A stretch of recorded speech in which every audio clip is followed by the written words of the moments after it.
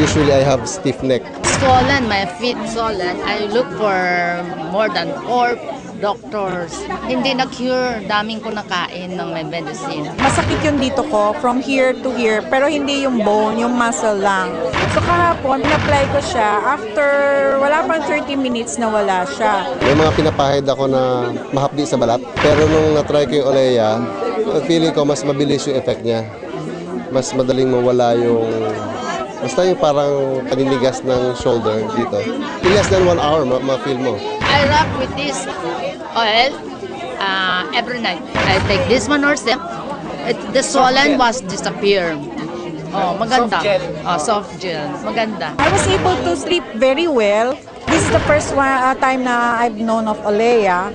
Yung amoy niya, yung mabango. Hindi amoy matanda. May muscle pain ako noon that time, kaya pinapahid ko yon. And nakita ko, maganda yung effect. Tapos, binigay ko yung isa doon sa aking helper. Yun na nga, gumaling na yung kamay niya. Maraming sugat dahil sa water. Pinahid lang niya yon. Oo. The following day, natuyo na siya. Isa pang incident, yung anak kong isa, masakit ang ipin. Eh, nasa Sonia's Garden kami, walang ibang medical, uh, medicine kasi hindi na ako gumagamit ng mga synthetic medicine. Kumuha lang siya ng cotton, binigay ko, pina, pinabite ko lang, nawala yung pain, kaya nakakain siya ng the whole night na yon. O yun, marami akong incidents with the patients.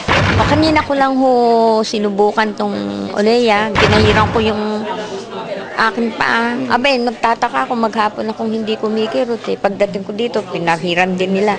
O, hindi ho. Kaya ho, sinasabi ko lang ho ang totoo dahil ho ako may diabetes. Ang mga paa ko ho namamanhid. Abay, itong oras na ito, hindi manhid. O, yun ho.